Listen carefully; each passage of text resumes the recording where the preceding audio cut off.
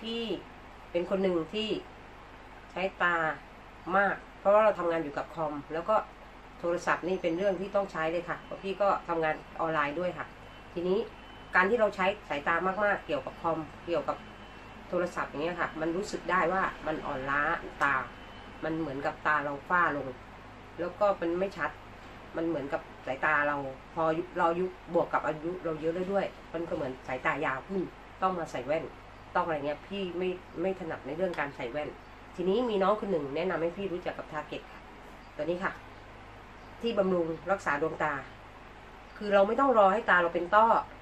ลมต้อกระจกอะไรก็แล้วแต่ไม่ต้องรอ ไม่ต้องรอณเวลานั้น แค่เราเมื่อยล้าตาในเราก็บำรุงรักษาดวงตาของเราไว้ก่อนเลยค่ะ